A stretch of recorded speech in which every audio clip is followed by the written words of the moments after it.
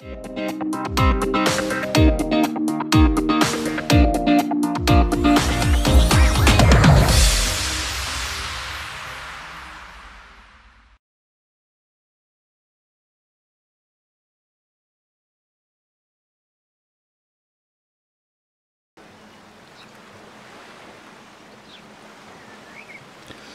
und grüße euch zu einer Modvorstellung hier auf meinem Kanal. Eine weitere Modvorstellung für Transport Fever 2. Nachdem uns jetzt ja das Glück zuteil geworden ist, dass ja dann mit dem letzten Patch alles wieder möglich ist, dass ähm, Fahrzeuge oder Mods mit benutzerdefinierter Ladungsanimation möglich sind, ähm, gibt es jetzt vom Herrn Kaloid einige neue Modelle, die er schon in Transportfieber gebaut hat, sind jetzt dann auch eben in Transportfieber 2 möglich. Wir schauen uns jetzt hier mal die Fallens 121 an, die er für Transportfieber 2 umgesetzt hat. Wir sehen wir hier mal einen der Waggons. Ähm, die Fallens 121. Ähm, muss gleich mal dazu sagen, falls jemand einmal die genauen Bezeichnungen weiß, ähm, könnte das einmal jemand äh, in den Kommentaren reinschreiben. Ähm, die Fallen sind ja grundsätzlich ähm, ist eine Gattungsbezeichnung die sind ähm, vierachsige offene Schüttgutwagen, aber es gibt eine Menge Unterwaggonsbezeichnungen äh, ähm, für die Dinger.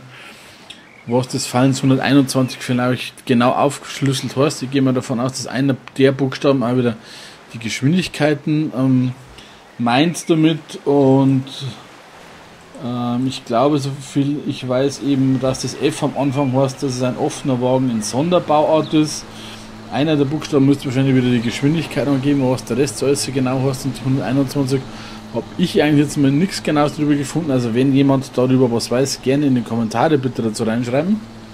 Die Fallen 121 ist ein offener Drehgestell-Schüttgutwagen mit schlagartiger Schwerkraftentladung. Ähm, man sieht also hier oben wird also das Schüttgut eben reingefüllt oben, wie in einem, kann man es großen Trichter mal nennen. Und hier sieht man eben am äh, Wagen dann oder am Waggon vier große Klappen auf der Seite, zwei links, zwei rechts, die eben dann über ein bestimmtes Ventil geöffnet werden können, sich dann gleichzeitig öffnen und die Ladung dann eben nach unten rausfällt. Dementsprechend muss ja die Entladevorrichtung beim Zielort dann so sein, dass halt das Ganze hier unten dann über Gitter eben nach unten weiterverarbeitet wird oder das Ganze eben einfach hier nur ins Gleisbett fällt, was natürlich auch nicht sinnvoll ist. Also es gibt ja dann Entladungen bei bestimmten, bestimmten Positionen, die ja dann hier ein Gitter auf der Seite haben, wo halt das Ganze eben dann nach unten wegfällt und eben dann dort abtransportiert und weiterverarbeitet wird. So, hier sehen wir einmal den ähm, schönen Verkehrsrouten in DB Schenker Lackierung.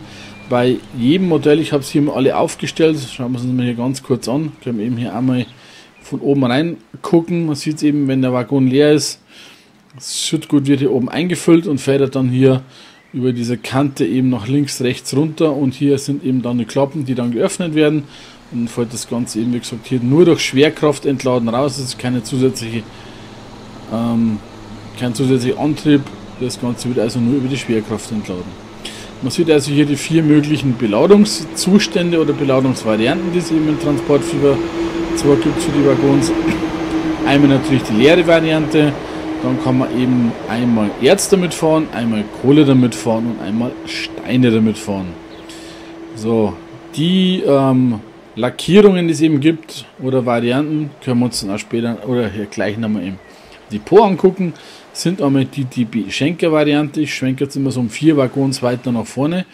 Dann sehen wir hier einmal die DB Schenker Variation mit Graffiti 1. Man sieht also, dass sich hier wieder ein paar Künstler an den Waggons verewigt haben und das Ganze ein bisschen farblich lackiert haben.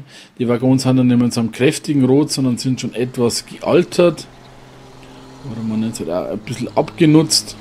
Und natürlich wieder von ein paar Künstlern mit ja, Kunst versehen worden, wie immer man das auch nennen mag. Das gleiche gibt es in der Graffiti-Variante 2. Sieht also jetzt immer hier die vier Wagen mit Leer, Steinen, Kohle und Erz beladen und die Graffitis haben natürlich immer die gleichen auf den Waggons dann. Dann gibt es das Ganze nochmal in DB Cargo Lackierung hier in Rot, ohne dass sich die Künstler daran verewigt haben. Und natürlich auch die künstlerischen Varianten gibt es dann wieder in der Graffiti 1 Abstufung und in der Graffiti 2 Variante haben wir es hier. Das sind also dann diese DB Cargo Varianten. So, dann haben wir hier einmal die DB Variante, dann nicht in Rot, sondern in diesem Braun mit Systemlösung ABB und Schüttgut. Das ist also nicht jetzt von einem zusätzlichen Künstler, sondern es ist dann so, es ist gewollt. Und natürlich gibt es dann die auch in normaler Lackierung, ohne dass sich irgendjemand dran zu schaffen gemacht hat oder die Waggons zusätzlich lackiert hat. Mit dem normal einfachen DB-Logo in dem Braun. Dann gibt es das Ganze natürlich wieder etwas abgenutzt, wie man das Ganze wieder hier sieht, mit künstlerischer Gestaltung drauf in der Variante 1 und dann gibt es das Ganze noch in künstlerischer Gestaltung mit Variante 2. Also auch wieder mit den Graffiti Repaints, wie ich es immer so schön sage. Tja, wenn sowas irgendwo rundum steht, muss ich halt irgendwo noch dran verewigen und muss jetzt schreiben, ich bin hier gewesen oder sowas, keine Ahnung. Und man sieht also jetzt hier mal so, ich muss ein bisschen weiter rauszoomen und nochmal ein bisschen weiter rauszoomen, dann sieht man hier mal, ja, bis wir mal alle Modelle haben, die in dem Mod enthalten sind, ist doch schon ein ziemlich großer Abstellbereich notwendig hier. Die Map, die ihr hier übrigens seht, ist vom User Micha, die er mir zur Verfügung gestellt hat. Vielen Dank dafür. Wird auch im Anschluss an die Modvorstellung oder in der Modvorstellung jetzt auch ein paar Fahrsequenzen geben, wo man die Waggons dann im Betrieb sieht und hört. Und würde sagen, wir schauen wir das Ganze jetzt hier nochmal in einem Depot an. Jetzt müssen wir das Overlay natürlich einschalten. So, dazu brauche ich natürlich jetzt erst ein Depot und kein das haben wir hier hinten. So, dann können wir hier mal Fahrzeuge kaufen gehen. Gehen wir einmal auf die Waggon- und Cargo-Abteilung. Müssen wir mal ein bisschen nach unten scrollen und dann haben wir hier die Fallens 121 in diesen 10 Varianten. Schauen wir uns mal die technischen Daten zuerst an. Eine Höchstgeschwindigkeit von 120 Stundenkilometer, eine Kapazität von 4 bis 19 Einheiten. Als Ladungsgüter sind eben wie man hier sieht, Kohle, Erz und Stein möglich. Das Ganze mit einer vierfachen Ladegeschwindigkeit, einer Emission von 0. Die Waggons haben ein Leergewicht von 24 Tonnen.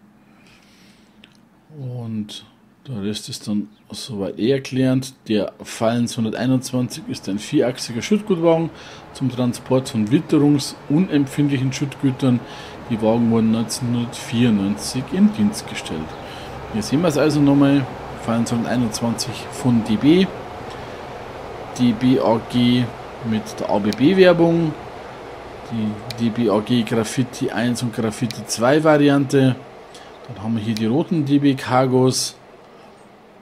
Wieder in zwei Graffiti-Varianten, wie wir gesehen haben. Und dann gibt es das Ganze nochmal von DB Schenker und auch zweimal mit künstlerischer Umgestaltung, wenn man es so nennen will.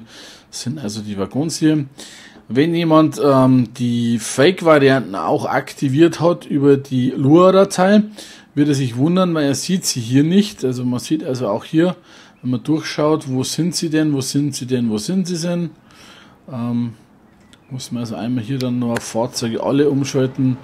Kann hier ein bisschen durchscrollen und dann wird man auch hier die Fake-Varianten sehen also hier die 16 Fake-Varianten von DBAG.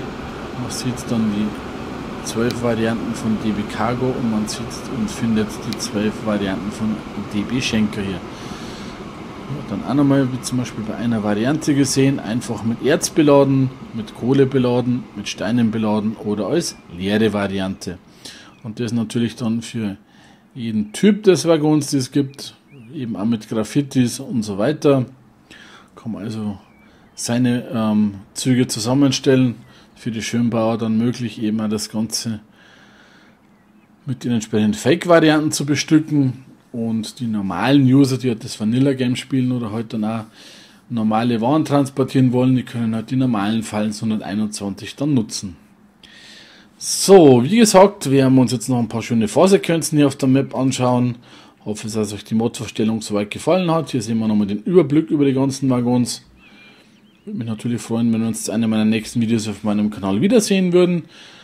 Ähm, wie gesagt, wenn jemand die genaue Bezeichnung weiß, was dieses Fallens 121 wirklich komplett aufgeschlüsselt hast, bitte gerne in die Kommentare drunter schreiben. Liebe Grüße an den Kaloid, vielen Dank für diesen Mod. Grüße natürlich an meine Kollegen in die Modwerkstatt. Wenn der Mod veröffentlicht ist, wird er natürlich auch in der Videobeschreibung verlinkt. Und dann könnt ihr ihn ganz leicht finden. In diesem Sinn wünsche ich euch noch alles Liebe und Gute. Bis zum nächsten Mal auf meinem Kanal. Euer Maverick.